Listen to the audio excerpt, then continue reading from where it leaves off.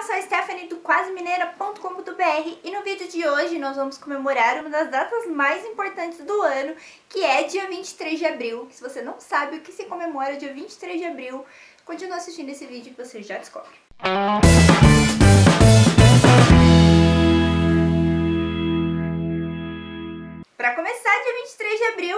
Dia Mundial dos Escoteiros. Parabéns a todos os escoteiros espalhados pelo mundo. Somos 40 milhões. Me corrijam se eu estiver errada, mas se eu não me engano, somos 40 milhões. E é comemorado no dia 23 de abril por conta de Robert Baden-Powell, fundador do escotismo, que era muito devoto de São Jorge, e dia 23 de abril também é comemorado o dia de São Jorge. E por conta da sua bravura e da bravura dos escoteiros, juntaram-se os dias e hoje é conhecido como Dia Mundial dos Escoteiros, ou Dia do Escoteiro, ou Dia do Escotista, do escotismo, no caso. Dia 23 de abril também é Dia Mundial do Livro, que foi estabelecido pela Unesco lá em 1995, que dia 23 de abril seria Dia Mundial do Livro por conta da data da morte de três grandes atores. William Shakespeare, é, Vinícius, Vin Miguel ou alguma coisa, Miguel de Cervantes e Inca Galhaço de la Vega, que eu não faço a mínima ideia de quem é, mas foca no William Shakespeare. E por ser Dia Mundial do Livro e Dia Mundial dos Escoteiros, decidi mostrar pra vocês alguns livros escoteiros que eu tenho. Então, não, não tenho muitos, aliás, mas eu queria compartilhar com vocês alguns. Vamos começar com a Bíblia dos Escoteiros, que é tipo o livro mais importante do movimento escoteiro.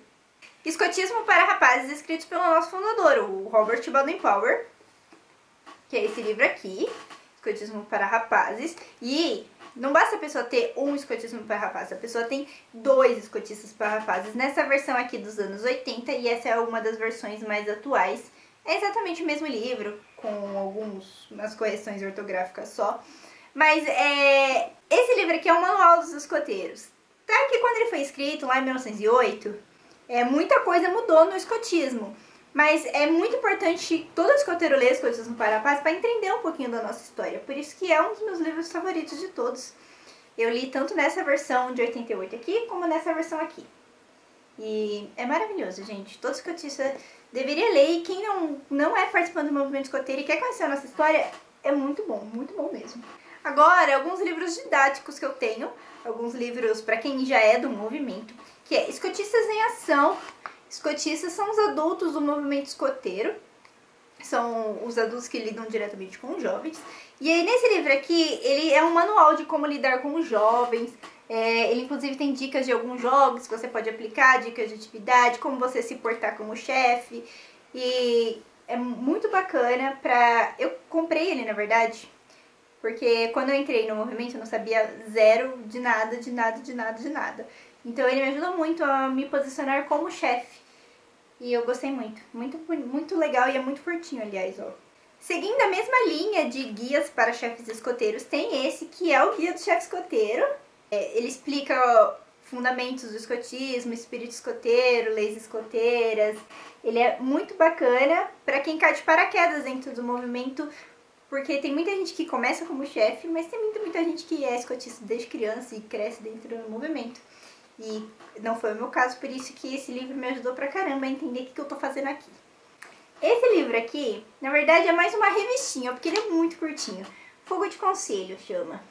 Fogo de Conselho é uma das cerimônias mais importantes do movimento e a mais linda de todas, é a minha favorita. É um momento muito solene dentro do movimento. E nesse livro aqui explica a importância do fogo de conselho, como é feito, toda a solenidade, porque é uma cerimônia tão importante. E por mais que ele seja curtinho, ele passa aquela sensação de ai que saudade de acampar, porque o fogo de conselho é um momento muito cheio de amor, cheio de paz. E quem é escotista já participou de um fogo de conselho sabe do que eu tô falando. E esse livro é muito lindo, muito lindo. O último livro didático que eu tenho aqui é o Guia de Especialidades. Essa não é a versão atualizada, esse livro é atualizado todo ano, porque todo ano eles acrescentam especialidades novas. Inclusive, ano passado ele teve um remake, ele ficou com um espiral do lado, ficou muito lindo. Mas eu ainda não tenho essa versão, só tenho essa aqui.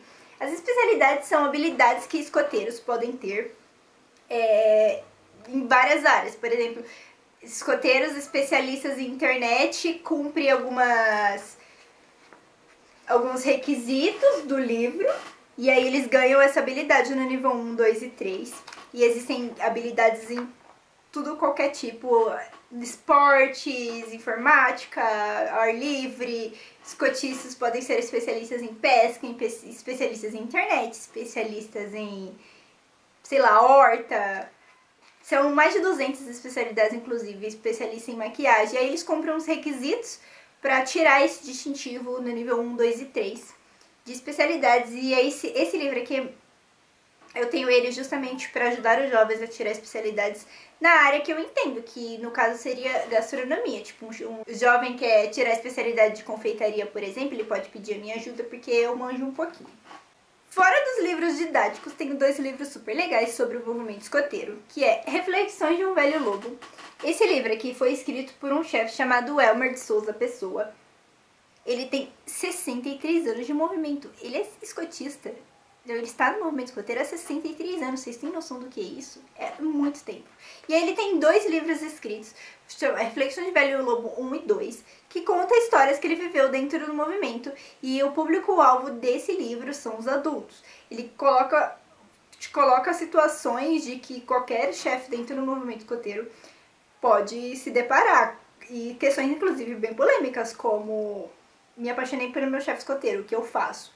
E te ensina a lidar com jovens nessa situação, por exemplo. Mas também tem casos bem engraçados e o livro, inclusive, é ilustrado.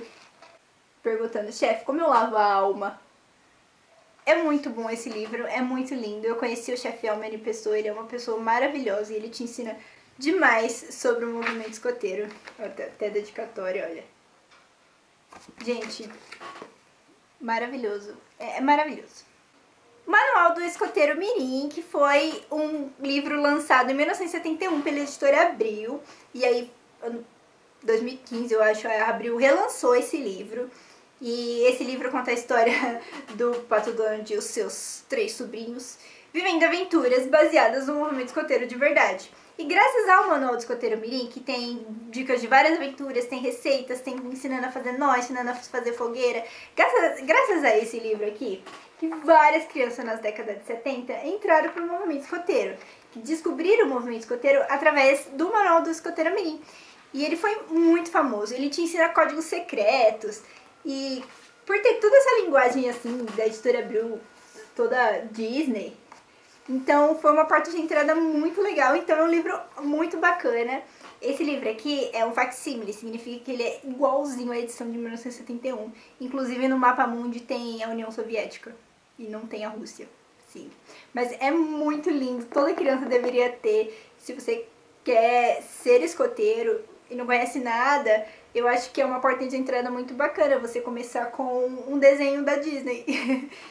Gente, esses foram alguns dos meus livros escoteiros. Desculpa se o vídeo ficou muito longo, mas quando eu falo sobre isso eu me empolgo um pouquinho. Se você é escoteiro, feliz Dia Mundial do Escoteiro e feliz Dia Mundial do Livro. Leiam mais. Me conta nos comentários qual é o seu livro favorito. Se você é escoteiro, deixa o número do seu grupo e o nome dele aqui, sempre alerta pra vocês. Beijos. Tchau, tchau.